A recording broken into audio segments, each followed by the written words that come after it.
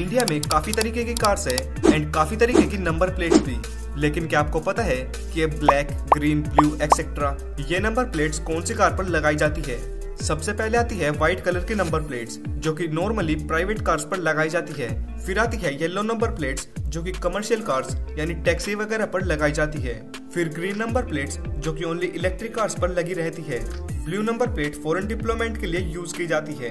उसके बाद black and yellow number plate जो कि कमर्शियल में ही यूज़ की जाती है, लेकिन इनके ड्राइवर्स को कमर्शियल परमिट की कोई ज़रूरत नहीं होती। एंड ये हमको नॉर्मली लग्जरी होटल्स वगैरह में देखने के लिए मिलती है।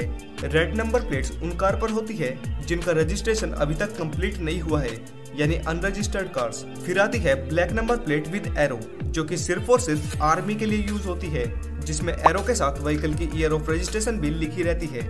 एंड फिर आती है रेड नंबर प्लेट अशोक स्तंभ के साथ, जो कि प्रेसिडेंट या गवर्नर की कार्स पर लगाई जाती है।